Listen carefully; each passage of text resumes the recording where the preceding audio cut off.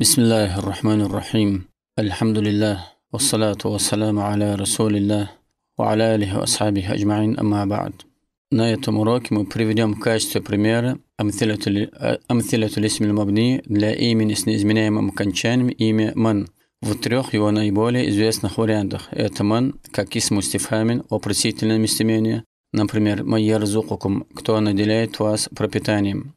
и «Ман анта» – «Кто ты?» и так далее А также ман как исмун маусулен, относительное местоимение, например, аля я'ламу ман халак, разве не знает тот, кто создал? То есть, аля я'ламу ман халака в значении аля я'ламу леди халака. Также, например, джа ман ла на'арифуху, пришел тот, кого мы не знаем. Ай леди ла на'арифуху. И, наконец, третий вид ман – это исму шартин джазимун. Это имя ман, являющееся условным именем, именем, указывающим на условия и его ответные действия. Джазм, то есть ставящие два глагола в состоянии аль-джазм, в усеченное состояние, усеченное наклонение. Яджзиму фиалейни, ставит два глагола в состоянии аль-джазм, как, например, «Майямаль суан юджзабе», кто совершит плохое или скверное деяние, тому будет воздано. И, например, «Майячтахиду янджах», кто будет усердствовать, достигнет успеха. Во всех этих местах, в этих случаях, ман это исмун мабнию аля сукун, имя с неизменяемым окончанием, с неизменным постоянным сукуном на конце. Постараемся привести примеры для каждого из этих трех видов в ее возможных трех поддержных состояниях. في حالات الإعراب الثلاث أي الرفع والنصب والجر а именно состояние раф, именительный падеж, состояние нас, винительный падеж и аль-джар, или как его еще называют, аль-хафду, родительный падеж. Начнем с вопросительного местоимения ман, из мустифамин. Например, «Оя кауми май суруни» «О мой народ, кто поможет мне, кто спасет меня» до конца айта так и миман здесь это исмусифамин, вопросительное местоимение. Мабнию аля сукуни с неизменяемым окончанием сукуном на конце. Фи махалли рафин на месте падежа раф, именительного падежа.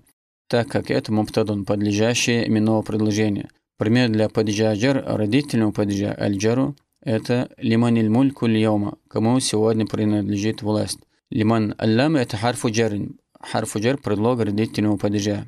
Ай яджуру лисма лиды яли ставит стоящее после него имя в состоянии джар, родительный падеж, как, например, лилляхи машрику. Но исходя из того, что ман – это исмун мабниун, имя с неизменяемым окончанием, мы скажем, как и в предыдущем примере, мабниу аля сукуни, что ман э, мабниу аля сукун с неизменяемым окончанием. Но дальше уже мы говорим фи махалли джари миллями, на месте падежа посредством предлога родительного падежа аллам.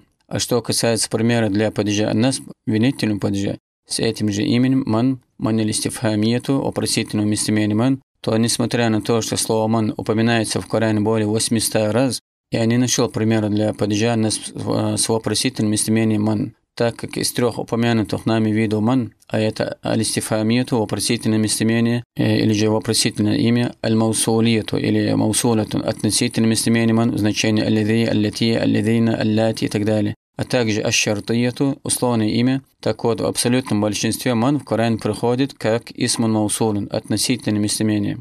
Тати ман фил Коран исман маусулан галиба. На втором месте ман аш-шартияту, ман шартияту, как условное имя э, шартия. И, наконец, меньше всего приходит как вопросительное имя или вопросительное местоимение. ومجيئها ومجيئها اسم استفهام أقل منهما بكثير والله أعلم Поэтому нам придется провести для падежа нас, винительного падежа, пример от себя. Например, «Ман рааит аль-йома мин зумалаика» «Кого ты видел сегодня из твоих товарищей?» Так, «ман» в этом предложении – это «маф'уль бихи мукаддам» – это прямое дополнение, поставленное перед своим амелем, фактором. «Мукаддамун аля ра» – поставлен перед своим фактором амелем, то есть перед глаголом «ра». Видел кого что, винительный падеж. Почему ли ман исму стифамин, так как ман здесь это вопросительное местоимение. У асмау стифами ляха садруль калам. А вопросительные имена в арабском языке бывают всегда в начале предложения. Ай такун фи бидает джумлати, как, например, айна кунта, где это был, лимада фаальта хада, почему ты это сделал, кам умрука, сколько тебе лет, масмука, как тебя зовут, как твое имя, мата хараджта, когда ты вышел, или айюкум караа хада китаба, кто из вас э, читал эту книгу, и так далее. Вот почему в этом примере манруайта, слово ман, являющееся маф'уль бихи прямым дополнением, было поставлено здесь в начале предложения, перед своим амилем. Такаддама аля амиль ман. Ман здесь является мабню аля сукуни, как и прежде, но мы скажем фи махалли, на месте падежа, на винительного падежа. Аллаху алам.